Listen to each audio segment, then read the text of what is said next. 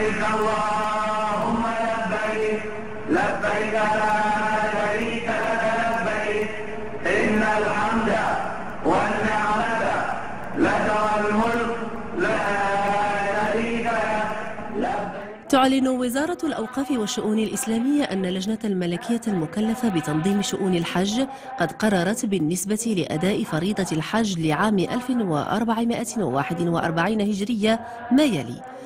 فتح باب التسجيل أمام المواطنين والمواطنات في لائحتين تخصص أولاهما للراغبين في أداء هذه الفريضة بتأطير من وزارة الأوقاف والشؤون الإسلامية والثانية في وجه الراغبين في أداء الفريضة بتأطير من وكالات الأسفار السياحية.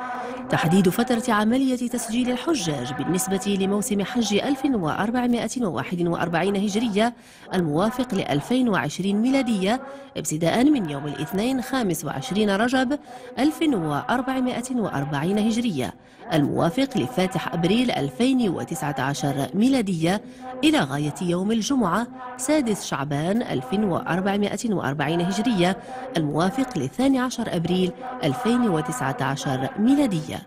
وتجدر الإشارة إلى أنه لن يقبل تسجيل الحجاج الذين سبق لهم أداء فريضة الحج خلال عشر سنوات المنصرمة. لبيك اللهم